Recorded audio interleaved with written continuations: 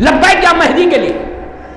कि इमाम के बारे में यह सोचो कि जब आप रिस्क हलाल देंगे इमाम को, एक बात बोलो, इमाम को हमारे पैसे की ज़रूरत नहीं है। इमाम सिर्फ़ ये चेक कर रहा कि कौन कितना देता है। बड़े बड़े वादे मौला आप आएँगे तो मैं जान दे दूँगा। मौला आप आइए, मैं हाजिर हूँ।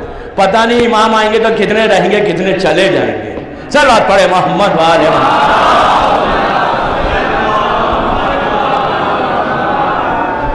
एक बाबा से बलंद पढ़ ले।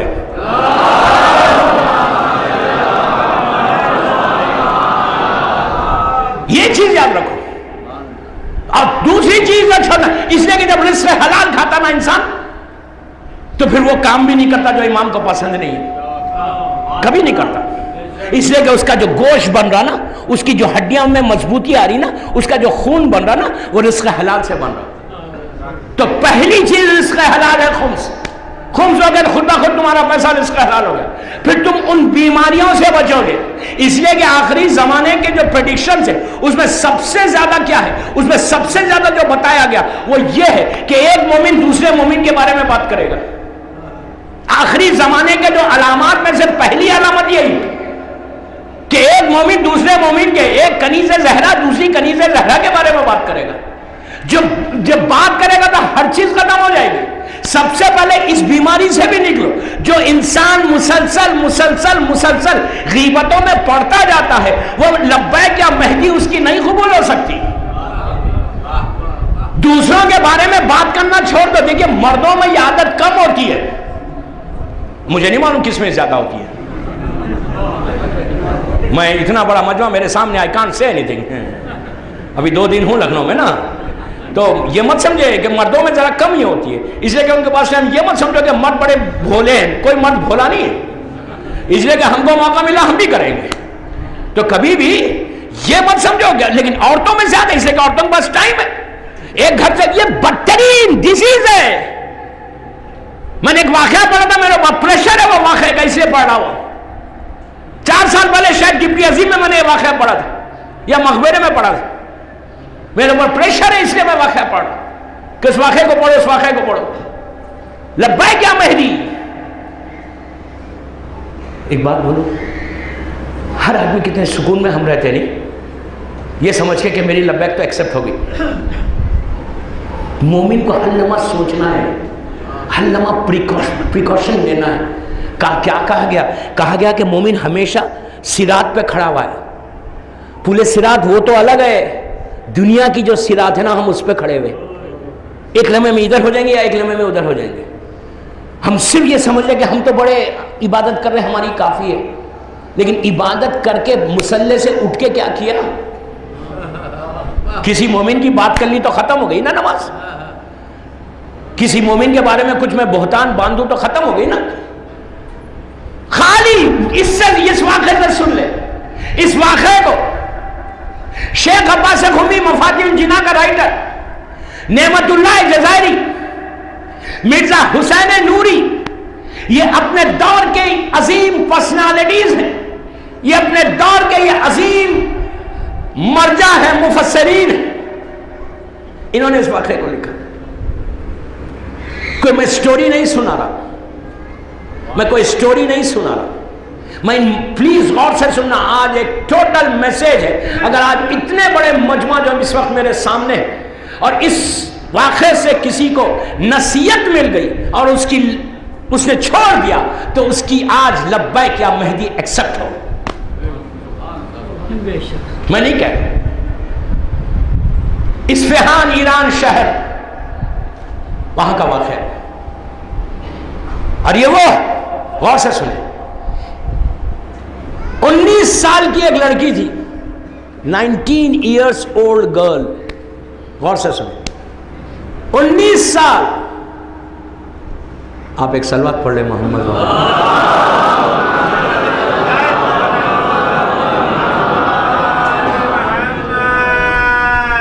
एक बाबा से बदल सलवात पढ़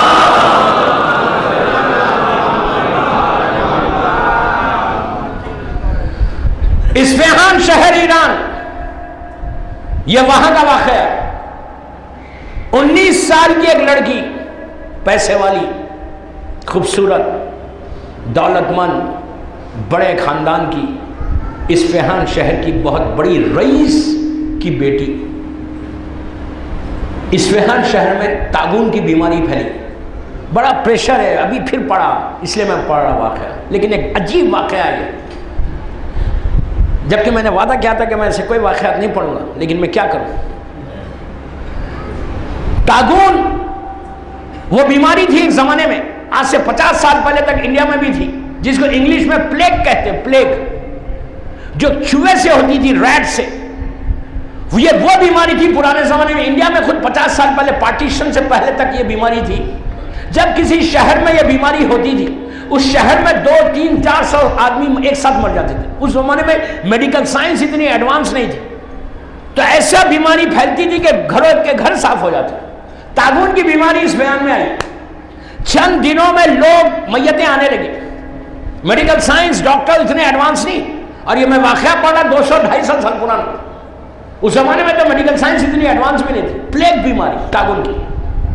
उस बीमारी में ये रईस घर के ये लड़की 19 साल की खूबसूरत लड़की खत्म हो गई। एक हंगामा मच गया शहर के।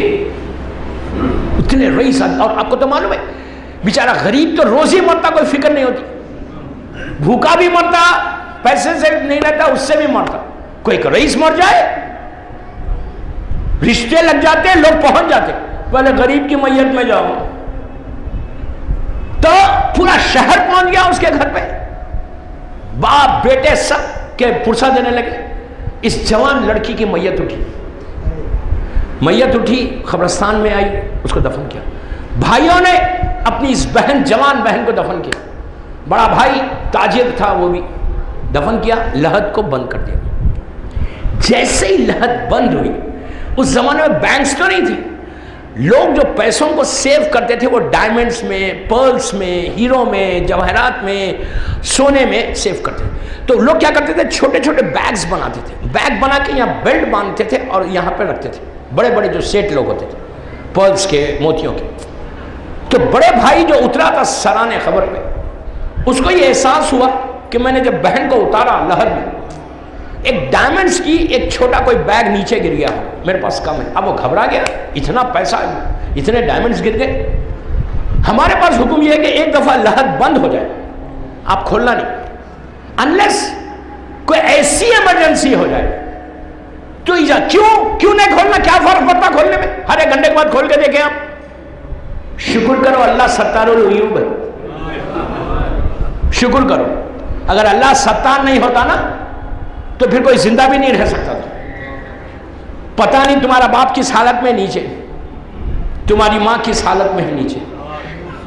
मौला अली का जुमले को याद करो। मौला अली का जुमला आबिद बिरामी का जुमला नहीं है। अली कहते हैं अपने खुतबे में कि उस लम्हे से डरो, जब ज़मीन के छोटे छोटे इंसेक्ट्स छोटे छोटे कीड़े तुम्हारी नाक से दाखिल होंगे और आँखों से बाहर आ जाएँगे। हलाल रिस्क होगा, फिर नजुल बलागा में। मौला अली का जुमला आबिद बिरामी का नहीं है कि अपने शिकम को, अपने पेट को, अपने स्टमक को, ज़मीन के कीड़ों की गिजा मत बनाओ।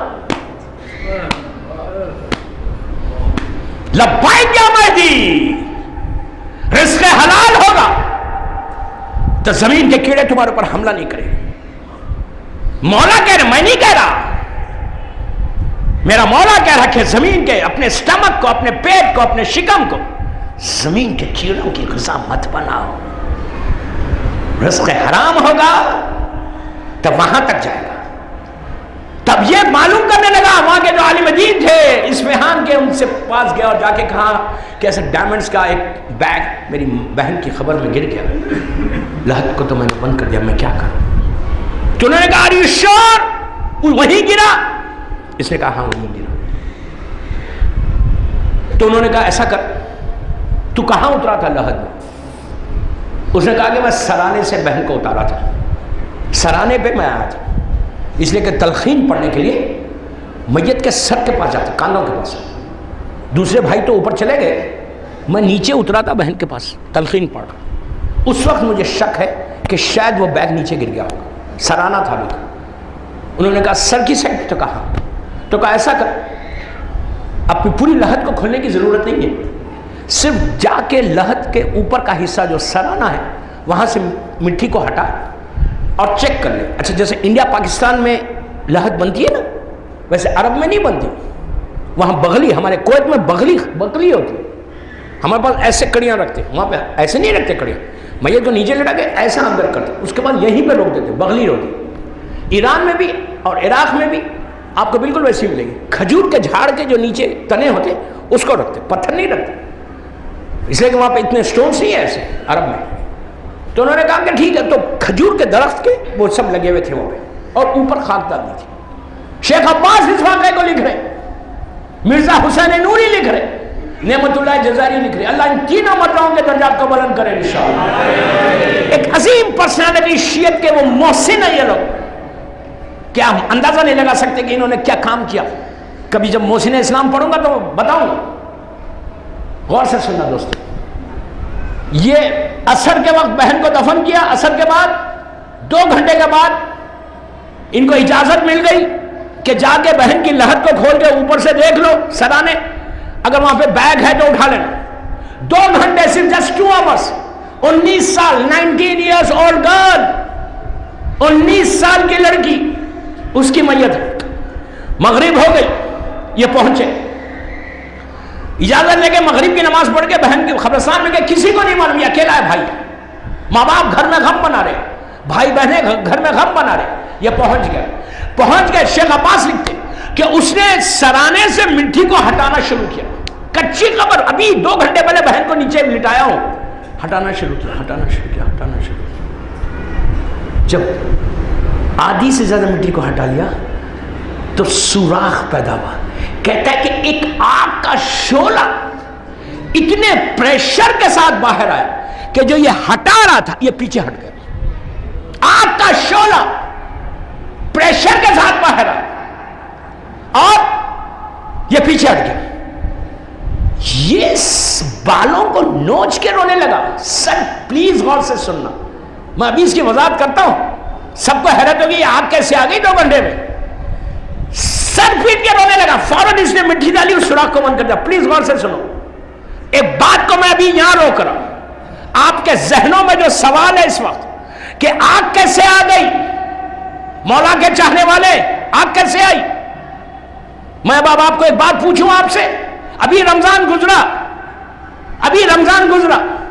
रमज़ान की एक रात ऐसी आती कि सारी दुनिया में जाना अली के चाहने वाले इमाम बारगाह में, सारे मसाजिद में, पूरी दुनिया बोल रहा दुनिया जाना मौला के चाहने वाले इस वक्त है। ऑस्ट्रेलिया से लेकर अमेरिका तक गल्फ से लेकर नीचे इंडिया, पाकिस्तान और फारिस तक, जहाँ अली का चाहने वाला आजादार हुसैन रहता है, पूरे 29 दिन में एक रात रमज़ान में ऐसी आती है कि उस रात में बैठकर एक दुआ हम पढ़ते हैं। हर घर में होती, हर मस्जिद में होती, हर इमाम बारगाह में होती। मशहूर दुआ। आज हुसैनी चैनल के ऊपर शाम में मगरिब के बाद यह दुआ आ रही थी। कौन सी दुआ? एक्स्ट्रा दुआ है। मुसीबतों में पढ़ने की दुआ। वो दुआ कोई मुश्तहद ने नहीं लिखी किसी मर्जा ने नहीं लिखी। मेरे मौला की दुआ है। मौला के दहने मुबारक के कलेमात है जिसमें इसमें आज़म है। कौन सी दुआ? जोशन कबीर। उस जोशन प्लीज़ इतने बड़े मजमे से पूछता जोशन कबीर में। हर मस्जिद, हर इमाम बारगाह, हर घर में। जब जोशन कबीर, तुम पढ़ते हो। ज़रूर पढ़ो, बेहतरीन दुआ है अपने प्रॉब्लम्स को सॉल्व करने के लिए। जब तुम जोशन कबीर पढ़ते हो तो पानी रखकर, बर्तन में तस्वीर रखकर हिलाते हो। क्या पढ़ के हिलाते हो? सौ मरतबा कोई चीज़ पढ़ते हो। मैं पूछ रहा हंड्रेड टाइम्स हर आदमी, हर मोमिन, हर औरत, हर लड़की रिपीट करती है जब पढ़ते आज हुसैनी चैनल में भी ये चल रही थी दुआ सुबह अलगास अलगास आखिरी जुमला क्या बोलते खलिसना मिनन नारे यारब ये मैं बोल रहा ये आबिद बिरलानी बोल रहा मौलाली बोल रहे किसके लिए बोल रहे खुदा ना खास्ता, खुदा ना खास्ता। क्या कोई अली के बारे में सोच सकता? मौला के बारे में सोचना कुफुर है। अली कायनात का मालिक है। ज़मीन और आसमान का मालिक है मेरा मौला, जिसके सदखे में आग बुझ जाएगी। जिसके सदखे में अल्लाह ने ज़मीन और आसमान को पैदा किया। वो अली जोशन कबीर में अपने चाहने वालों को यह कह रहा कि मरतबा बोलो, खलिसना मिनन्नार या रब। क्या मतलब है इसका? कि परवरदिगार, तू आग से बचा ले। ये मैं बोल रहा उर्दू में पढ़ो यार, उर्दू में, इंग्लिश में, हिंदी में पढ़ो दुआएँ।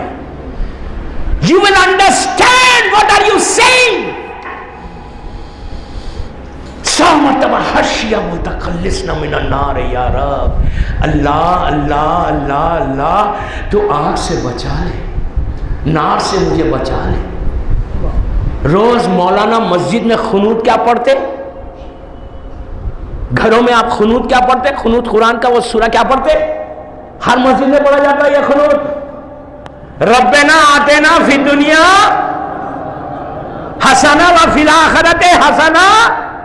वाखना अजाब नार कुरान है आबिद बिल्लामी नहीं बोलना। हम खुद पढ़ते हैं खुनूद में कि अल्लाह तो अजाब से जहन्नम की आग से हमको बचा ले। अगर आग नहीं है तो क्यों बोल रहे? मैं बोल रहा? कभी है अच्छा मैं एक बात यहाँ रोक के और बोलता दो दिन लखनऊ में हूँ। कोई एक रिवायत बताओ मुझे। इतने बड़े मजमे से पूछ रहा मैं। चौदह पूरे चौतेरा मासूमीन की। कोई एक रिवायत बताओ। कोई एक हदीस बताओ। दो दिन का टाइम है आपको। कोई एक रिवायत या कोई एक हदीस किसी मासूम की बताओ। कि मासूम ने यह कहा हो कि मेरे शियो तुम जो चाहे करो हम हैं। मैं क्या बोल रहा? तुम दाढ़ी मूंडो, तुम लोगों के माल खाओ, तुम खुम्स छोड़ दो। क्या मौला के जमाने में कोई खुम्स नहीं देता था अली को जाके? बीबी शकीदा का वाकया क्या खुम्स ईरान का? नेशापुर का? सातवें इमाम के जमाने में नहीं दे रही थी बीबी शकीदा? तो आप सोचो मैं क्या बोल रहा मैं गलत बोल रहा मैं चाहता दरगाह में जो मेरी आवाज़ सुन रहे, हर घर से, दिल की गहराई से लब्बाई क्या महती निकले और फर्जंद जहरा सीने से लगा ले आपको। एटलीस्ट डू समथिंग कुछ तो करो। कुछ नहीं करोगे, बोलेगे कि मैं ग्रांटेड इंडिया शिया, मुझसे बेहतर कोई नहीं, मैंने आपको इतनी सलाह दे दी। जोश ने कबीर में क्या बोल रहे? रोज खनूद में क्या बोल रहे? किसी मासूम ने यह नहीं कहा कि मेरे शियो, तुमको तो बिल्कुल छूट है। तुम जो चाहे करो। तुम गाने सुनो, तुम पिक्चर्स देखो, तुम बेपर्दा फिरो। तुम जो चाहे गुना करो, हम है ना?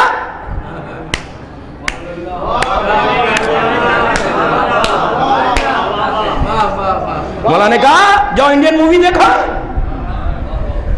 मैं कहता हूँ इंडियन मूवी तो नीचे से एक जगह पढ़ रहा था, आवाज़ आई, मौलाना क्या इंग्लिश देख सकते? इस्लाम में इंडियन इंग्लिश नहीं है, इस्लाम में घिना हराम है। इस्लाम कह रहा कि बेपर्दा लड़की ना जाए। इस्लाम कह रहा कि शादियों में मिक्स गैदरिंग्स मत करो। इस्लाम कह रहा गीबतें मत करो। इस्लाम कह रहा बोहतान मत बांधो। हुआ क्या? आग। अब ये भाई सर पीट के, मुँह पीट के रोने लगा। अब सिर्फ़ अंदाज़ा लगा मैंने बड़ी आसानी से पढ़ दिया, कभी ये वाक़ पढ़ता हूँ तो एक घंटा लेता हूँ, बस मदीस में ख़त्म कर रहा हूँ।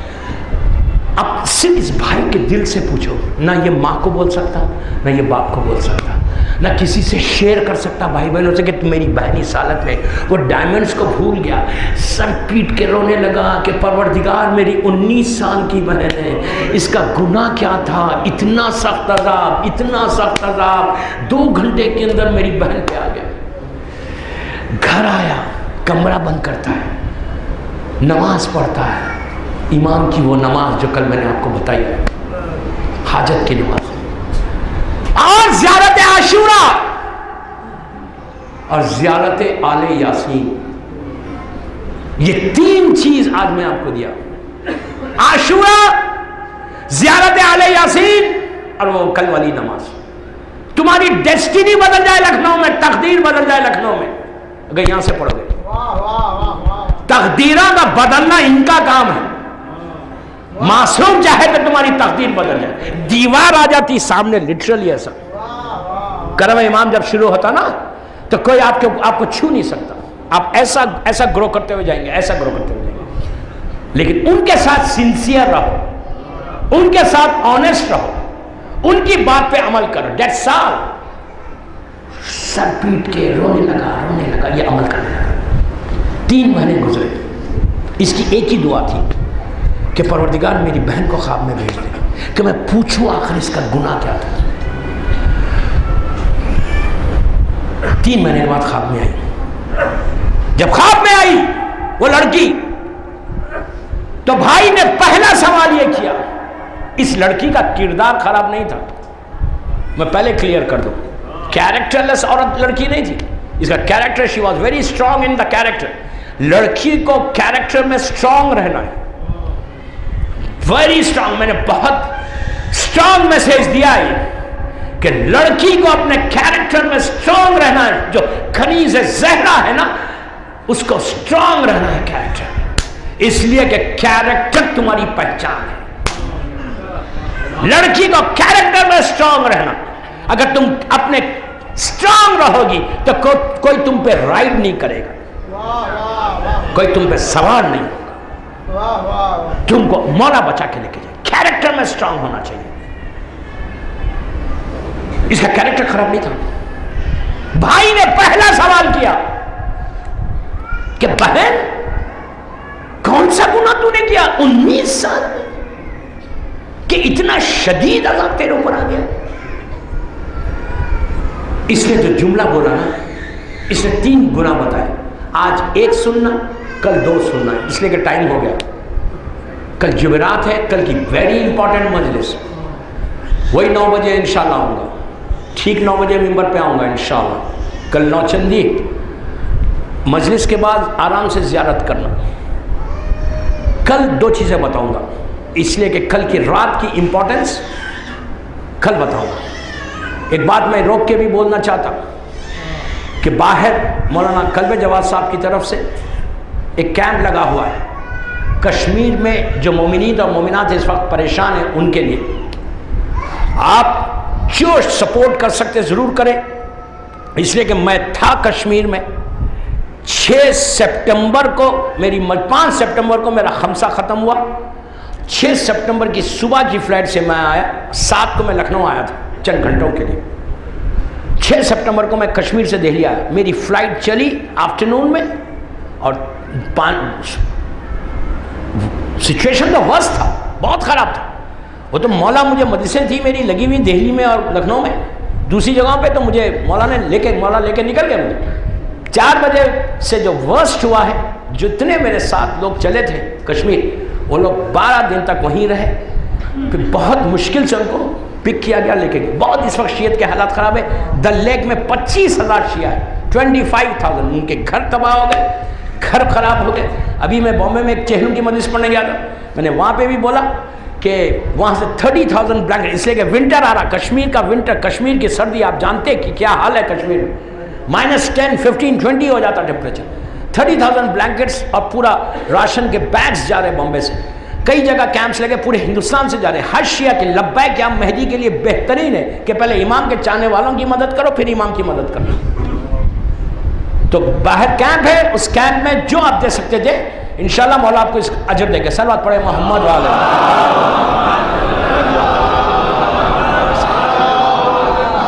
बस दोस्तों, आज बड़ी खामोशी से सुनी मजलिस ने। आग का मामला आ गया ना? पैसे का मामला आ गया। ये बात मत करो, हथेली पे जन्नत दो थैंक यू वेरी मच मैं कुछ बोल गया। और मैं हथेली पे जन्नत देने वाला मौलवी नहीं हूँ। मैं एक रिवोल्यूशन चाहता अल्लाह का शुक्र मौला अब्बास की बारगाह में हाथ जोड़ के बोल रहा कि दुनिया के जिस हिस्से में गया मैं एक इनकलाब आया। Big change in Bombay big change शिया कहते उसी का जो इनकलाब है। यूथ को बता, तुम इनकलाब लाना। तुम ये फ़िक्र को बदलना कि मेरी हर चीज़ सही है। नो हर वक्त फ़िक्र करना कि मौला मुझे कबूल करना मौला मुझे एक्सेप्ट करना तो नहीं बहन ने आगे खाब में आया। तो भाई ने पहला सवाल किया कि बहन, तेरा गुना क्या है? कौन सा ऐसा तूने गुना किया? उन्नीस साल में कि इतना शदीद उसने तीन बताए, बाज उलमा ने पाँच लिखे। मैं आज एक ही बता सकूँगा, कल दो बताऊँगा रात में, इंशाल्लाह। पहला गुना उसने जो बोला, पहली चीज़ जो आज हमारे माशरे में वो गुना है ही नहीं। आज हमारे समाज में वो गुना है ही नहीं। आज हमारी ड्राइंग रूम्स का की जीनत बन गई वो। हमारे डाइनिंग टेबल्स की जीनत बन गया वो। हमारी एक दूसरे से हम मिलते हैं तो वो फ़ैशन बन गया। वो आज गुना है ही नहीं। मैं बड़े कंफर्म मैं अपने कानों से सुनता हूँ। 90 परसेंट लोग देखिए, मैं किसी शहर का, किसी बस्ती का नाम नहीं ले रहा। मैं जनरल बात कर रहा हूँ। एब्सोल्युटली जनरल बात कर रहा हूँ कि 90 परसेंट वो गुना उसको समझते ही नहीं। क्या चीज़? Back biting गीबत। घरों में बैठकर एक दूसरे की बात करना। वो ऐसा वो ऐसा वो ऐसा। सगे भाइयों में सगी बहनों में फिर लंबा या महरी कैसे एक्सेप्ट होगा इस बीमारी को हटाओ।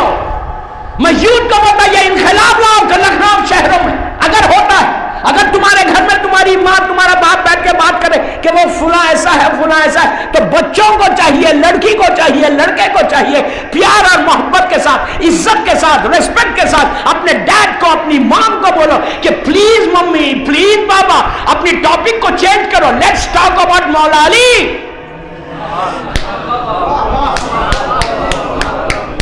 मैं क्या बोला दोस्तों, क्या बोला? मौला के बारे में बात करेंगे ना? टॉपिक को चेंज करो ना। मौला के बारे में बात करो।